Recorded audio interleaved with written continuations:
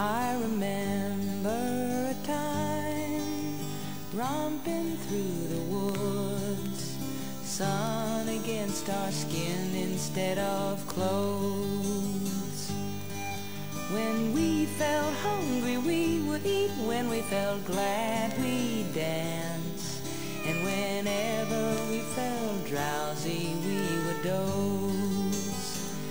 It was so easy.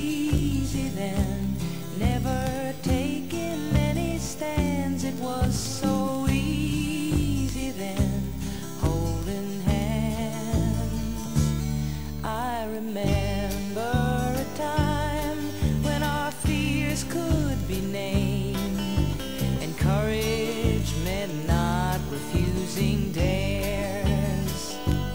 I remember when we took such cares to step never on the cracks, nor only in the squares, or else we'd be. Over.